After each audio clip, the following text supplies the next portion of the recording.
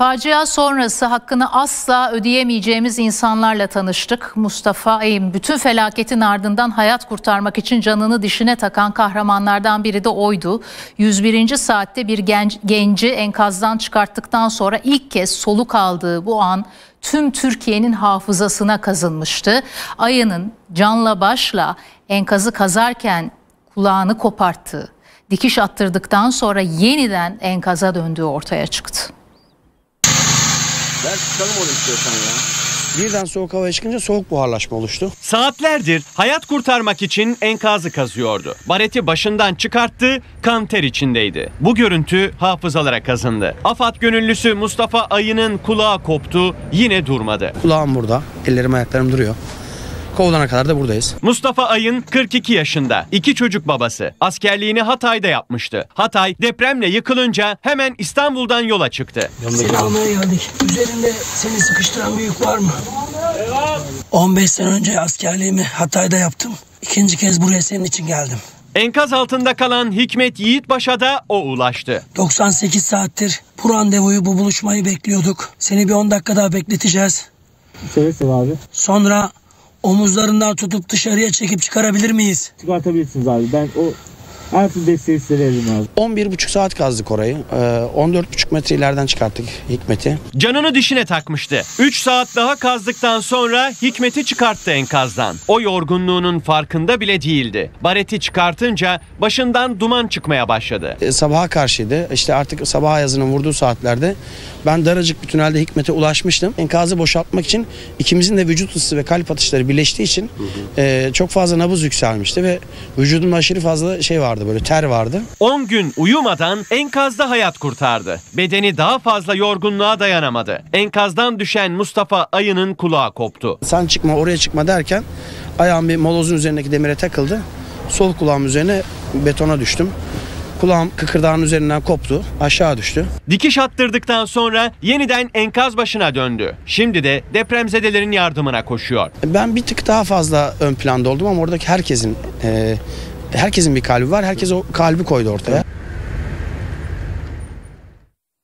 Yardımlar kent merkezlerinde işlek noktalarda toplanıyor. Ancak kırsal noktalarda özellikle de köylerde durum vahim. Kahramanmaraş'ta Türkoğlu ilçesine bağlı Şekeroba köyüne götüreceğiz sizi. Köylüler bir ömre sığmayacak kadar çok acıyı bir günde yaşadı. Yürekler acıdan öylesine nasır tutmuş ki soğukkanlılıkla anlattıkları kan donduran türden. Altı yakını yanan enkazda can veren adam hepsini inekleri yemlediği torbaya koyarak gömdüğünü anlattı.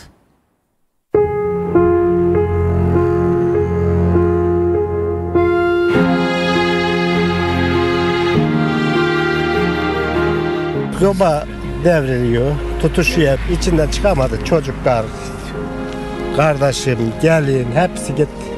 defnettik elimizle. Bize kimse soran olmadı. Kefen veren olmadı.